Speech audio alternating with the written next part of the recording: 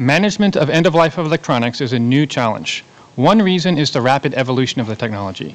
While new electronic products, like computers and cell phones, have as long a potential lifespan as traditional white goods, in practice they are considered obsolete very soon and replaced with new models.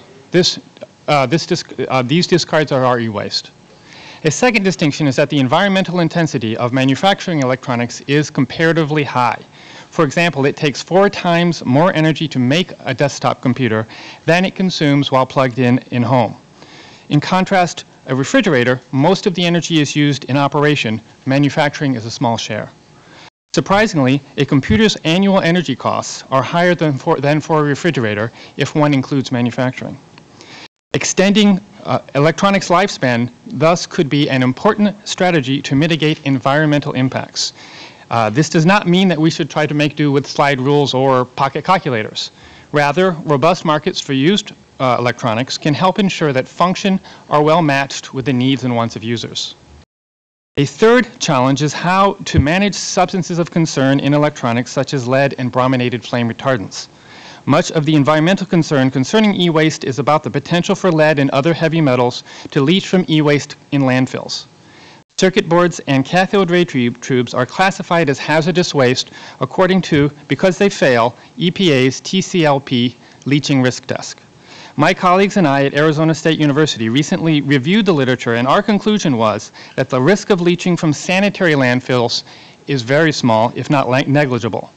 The main reasons for this are one, the TCLP test is considerably more aggressive than the leaching that actually occurs in landfills, and two, modern landfills have control systems to contain toxics that may leach out.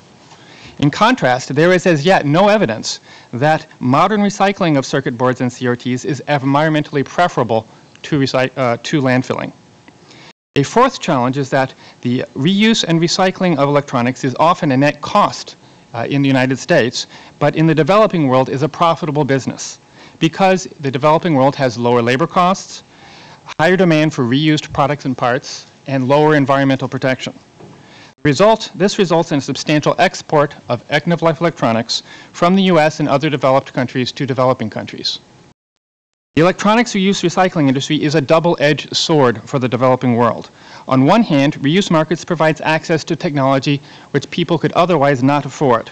Low-cost computers and cell phones in particular enhance uh, education and, and, economic development. Uh, the recycling industry, the reuse and recycling industry employs thousands of people. On the other hand, the recycling of electronics is often done in developing, in developing countries via an informal industry. Uh, it is, in my opinion, by far the most serious environmental problem associated with end-of-life electronics. Yet there is as yet little action taken to improve health and safety conditions in this industry. I believe that it is important we work towards electronic product solutions and policies which aim at triple bottom line solutions environmental, economic, and social benefits.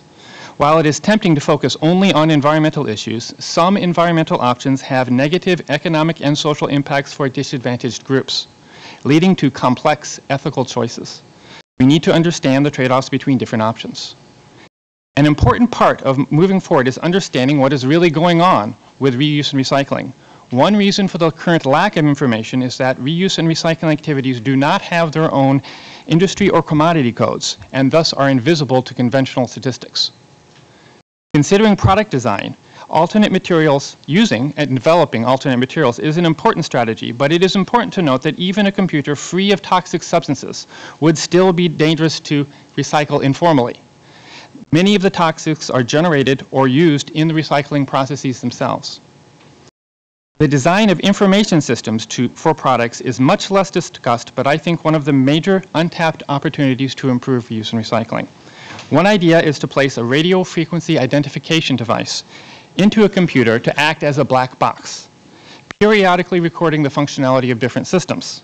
At the end of life, a computer arriving at a processing facility could be remotely scanned uh, to test functionality and classified for reuse versus recycling.